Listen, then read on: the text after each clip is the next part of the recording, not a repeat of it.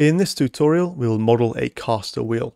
So typically, we would draw the parts individually and then constrain them together in an assembly file. But for the purposes of this tutorial, I'll just draw all the parts into a single part file. So let's start with the frame of the caster wheel. So we'll start a 2D sketch and we'll select the XZ plane. Have a look at this from the top view. And we'll use the circle tool from the origin and we'll draw in a circle with a diameter of 50 millimeters. Then we'll go on 3D model and we'll extrude that profile, rotate that. We'll extrude that again by 50 millimeters. Let's put in a fillet um, of, yeah, let's do 5 millimeters on this edge here. Okay. Looking good so far. And then we want to offset a plane. So we'll offset plane, and we'll do this from the YZ plane. We'll offset that by 32 millimeters. Click on that plane and create a 2D sketch. And here we'll draw a two point uh, rectangle. The height of this will be 45 millimeters and the width will be 38 millimeters. Let's go ahead and position that. So let's project this geometry and then we can use the collinear constraint between that projected line and the top line of our rectangle. And then we can use the dimension tool and dimension between the uh, side line here of our rectangle and the endpoint of this projected line here. And here the dimension will be six millimeters. So the cylindrical part has a diameter of 50 mil, minus 38 mil from that, which is the uh, length of the, the width of the rectangle. And then we divide that by two. So 12 divided by two, that's six. That's then fully constrained. We'll go in 3D model. I'll extrude, select that profile. We'll flip the direction and we will extrude that too, and we will select this face here. And as of the preview, that's exactly what we're after. Press OK. I just want to hide that plane, so we're going to right click on it. And I'm going to hit V on the keyboard, which is visibility. And take that out. Next, we want to cut away a part of this profile. So let's start a 2D sketch. And we'll do this on the XY plane. That's correct. And I'm just going to hit F7 on the keyboard. So yeah, we can look at uh, what, exactly what we're drawing on. We'll draw a line from this line here to the corner point, this corner point. Then we'll close the sketch. We'll dimension between this corner point and this top line here is 10 millimeters. Then we have a fully constrained uh, sketch. We'll 3D, uh, 3D model and we'll extrude. We'll select that profile. We want to extrude cut. I want to extrude it cut in both directions. So I'm going to hit symmetric. I'm going to hit through all. Then yeah, we're cutting away all of this profile here. We'll press OK. As you can see, all of that uh, geometry there has been cut away. That's great. And now we want to apply uh, a draft angle to this face here. So we're going 3D model and we'll use the draft command. For the pull direction, we'll select this face here. And for the faces to draft, this will be at a 20 degree draft angle, which is suitable for what we're after. We'll select this face here and we'll press OK. And then we'll tidy this up a bit using the fillet command. So let's put an 8 mil fillet, which is quite sharp for this edge here. That looks good. We'll add another fillet of 5 millimeters. We'll select this edge, this one, arc, edge here, and then this edge. Yeah, that's looking good. Select OK. And next we need to use the shell command. So we'll shell, select remove faces, and we'll select the automatic face chain command. So make the workflow a bit more efficient. We'll do a thickness of 2.5 mil. Then we'll select this face here. And because we have automatic face chain selected, it's gone and selected all three uh, of these faces here, which is correct. We want those to be removed. We'll hit OK. Looking nice. Let's do our through hole uh, on this face here. So this will be for the pin and for the wheel. To do this, I'm going to project this arc here. And I'm going to use the circle geometry uh, on this center point here uh, for a 10 millimeter diameter circle. I'm going to extrude cut. I'm going to select through all. Okay. Okay, so that's the frame complete. We now need to put in the caster wheel. So we will revolve this so to do this, we need to input a plane. And we'll do this parallel to an existing plane and through a point. So we need to identify uh, that point. So I'm going to turn on, uh, so I'm going to edit the sketch uh, of these through holes. And I'm going to input a point, the center of this circle.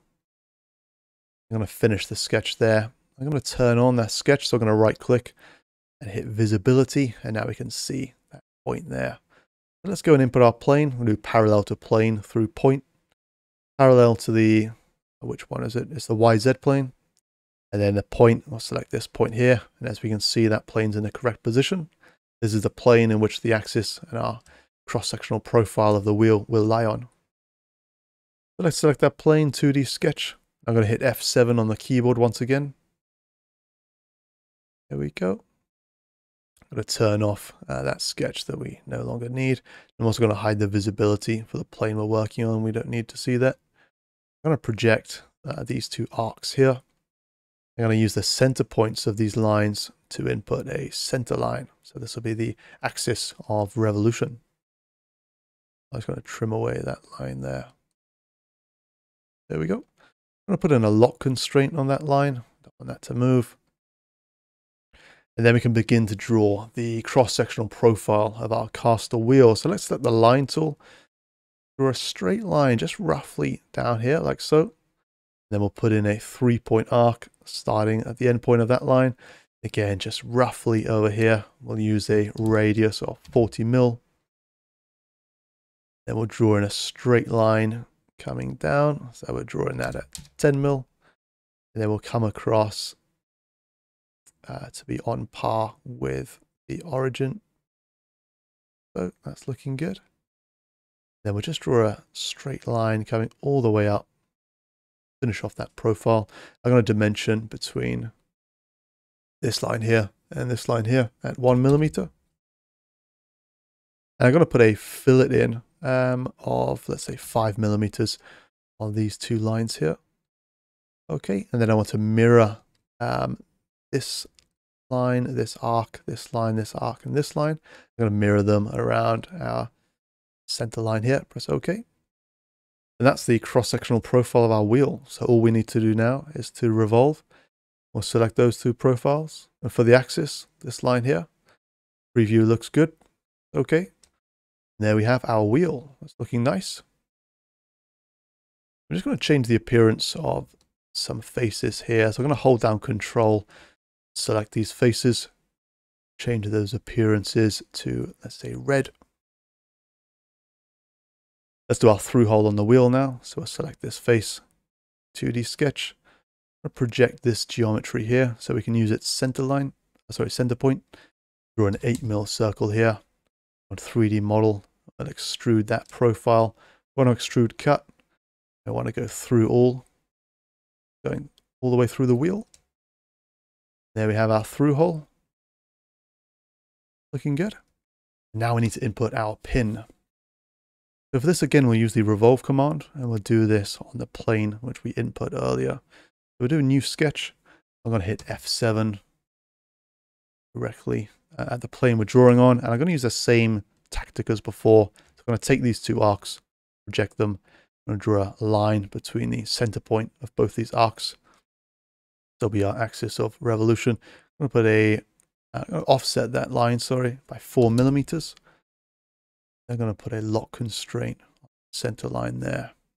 Come over to one side, zoom in a little, and let's use the line tool. Extend this line here by four millimeters. I want to select this line here, check that line, use a three point arc, start at the end of this line, position it on the projected line. We'll input a rad of seven mil. Okay, we can't input a rad of seven mil. Let's try that again seven millimeters, that's good. And then let's use the dimension tool between the endpoint of that line and this line here. Do that two millimeters. There we have uh, what would be the dome of our, of our pin. So let's put a mirror line in the center here and put that exact geometry on the other side. We'll select the line tool, come in at the center point of this line, join this line. Now we'll use mirror, mirror this arc and this line. We'll mirror them about. That mirror line here, press apply. That's looking good. Add a construction line. We'll project this line as well, like we did on the other side. That completes the profile. 3D model, revolve. Select this profile, center profile, this profile here. For the axis, we'll select our axis here. Okay. And there we have our pin in the center. It's looking good. We'll select those two domes. Again, I want to put on them a red appearance. Try that again. Yeah, there we go. And the last feature to add to this is the uh, mounting plate on this plane here. So let's create a 2D sketch. This from the top plane. Rotate that 180 degrees. And we use a two-point centered rectangle. Start at the origin there.